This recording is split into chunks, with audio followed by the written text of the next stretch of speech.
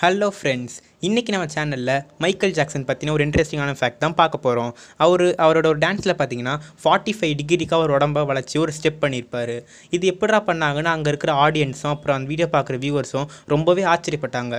நார்மலான ஒரு ஹியூமன் பார்த்தீங்கன்னா டுவெண்ட்டி டிகிரிக்கு மட்டும்தான் அந்த மாதிரி வளைஞ்சு கொடுக்க முடியுமே. ஆனால் இவர் ஃபார்ட்டி ஃபைவ் டிகிரிக்கு வளைஞ்சிருக்கிறாரு. அது எப்படின்னு இப்போ நம்ம பார்க்கலாம்.